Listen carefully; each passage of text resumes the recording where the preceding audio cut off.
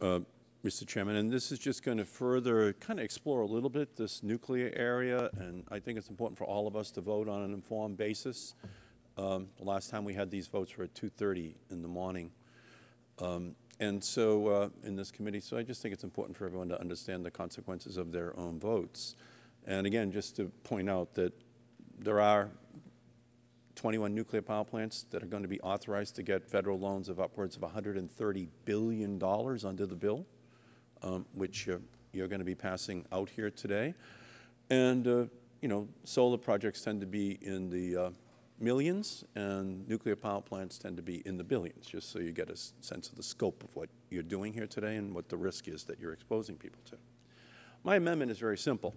It says that if a project is already over budget, by more than $535 million, or if the company applying for the loan guarantee experienced a net loss of more than $535 million in the last year, that project cannot receive a loan guarantee.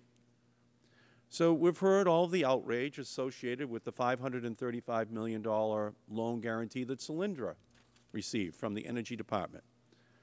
We have all heard the concern that the Department acted recklessly, even illegally. Those are the charges when it agreed to restructure the Solyndra loan in an unsuccessful effort to prevent its bankruptcy. But what some members of this committee may not have heard is that two nuclear loan guarantee projects, one of which has already been conditionally approved by the Department of Energy, could be even more damaging to the taxpayers than the Solyndra loan guarantee.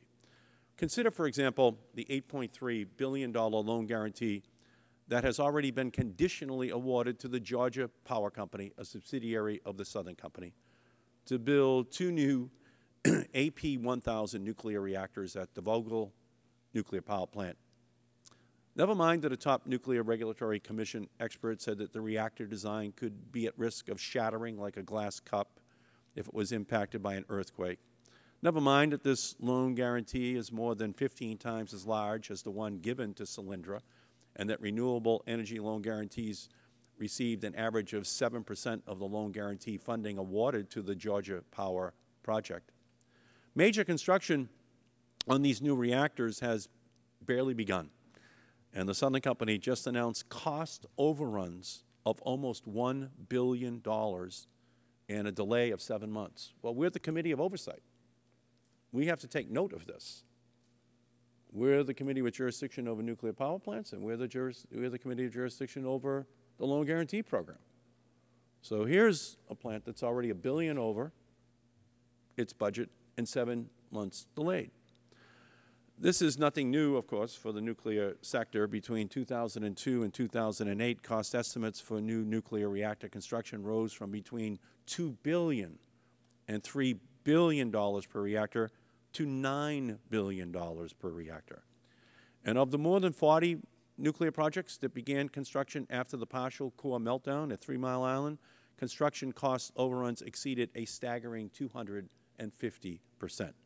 An average of 12 years elapsed between the start of construction and commercial operation. A second loan guarantee application for $2 billion is for the United States Enrichment Corporation. This company's shortcomings are well known. It has been rated as junk bond status. It is in danger of being delisted from the New York Stock Exchange and becoming a penny stock. There is a diminishing market for its product following the Fukushima meltdowns. Its centrifuges do not work despite the investment of billions, billions of dollars. And remarkably, its net losses were $540 million in 2011 alone. You got that number for USEC? Almost the same number that Solyndra lost in total, they lost last year, the United States Enrichment Corporation. So despite hundreds of millions of dollars worth of free technology, free uranium, free money, this company still has lost more money than the entire Solyndra loan guarantee was worth. We don't have to agree on nuclear energy policy. We don't have to agree on the extent to which the government should support renewable energy, but surely we can agree that projects or companies that, have, that are already blowing their budgets or losing money in amounts that are far in excess of the Solyndra loan guarantee should not get loan guarantees. We're the bankers. We're the loan officers. People are looking at us right now, post-Solyndra, to see what are our new standards as the loan officers for America. And here you have two clear situations where it makes Solyndra look penny ante.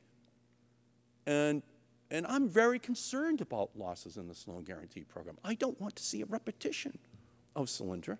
And so my amendment here is just to say, let us step back and, in a detached, analytical way, just say, no more Solyndras. We can see the problems. We're going to anticipate them this time. These companies are already overrunning their budgets or have already lost vast fortunes of money, and a vote for the Markey Amendment will ensure that we do not repeat history. So I yield back the balance of my time with a request for an aye vote.